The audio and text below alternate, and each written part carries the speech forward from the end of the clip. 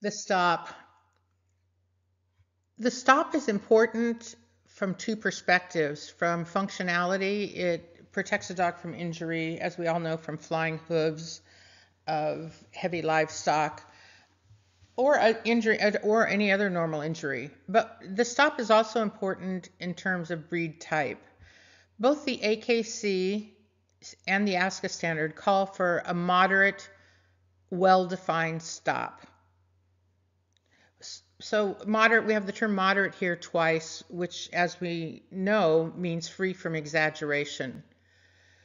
This is an example of a moderate stop it's from the down view looking up, but you can get an idea.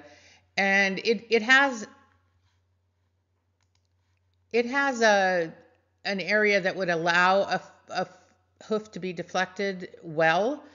It's moderate, it's not too tall, it's not too long, etc. And it contributes directly to this dog's breed type. You can tell from this head that this dog is an Australian is an Australian Shepherd. So this I would classify as a correct breed type. There are variations within this. This is just one example.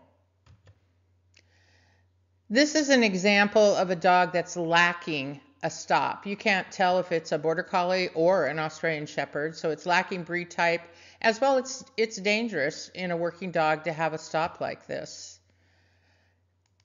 It's pretty easy to classify this as faulty. The other extreme would be an overly steep stop.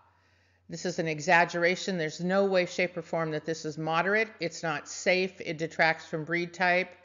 Unfortunately, it's been seen, uh, it is being seen uh, in the breed ring. Both of these uh, examples, this one and this one are seen in the breed ring, unfortunately, and in breeding animals, which is very unfortunate.